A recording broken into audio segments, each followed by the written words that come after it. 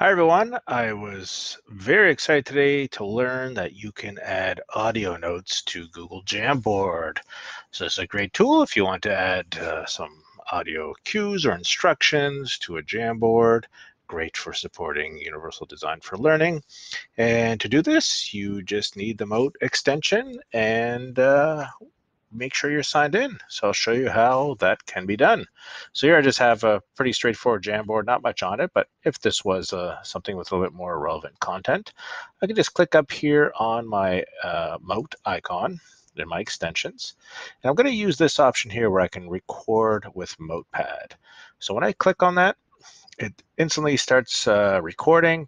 I could record some verbal uh, instructions uh, for uh, for this assignment on Jamboard. And when I'm done, I can just click done and it creates a uh, Mote here. So one thing you can do now is uh, assign this through Google Classroom.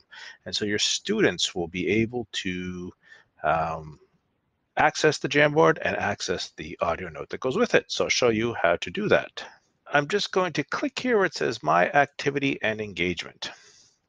When I do that, I have access to all the motes I have created.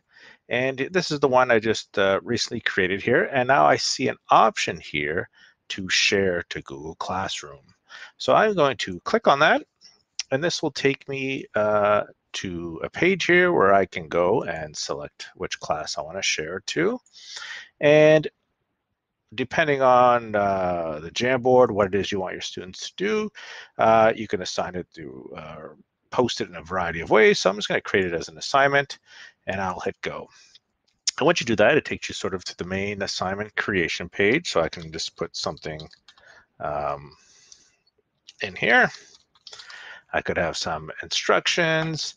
Uh, you see here's the mote uh, that I've created and the Jamboard will be attached to that. You then have your usual assignment options, such as if you want to assign it to the whole class or particular students, point values, all that stuff.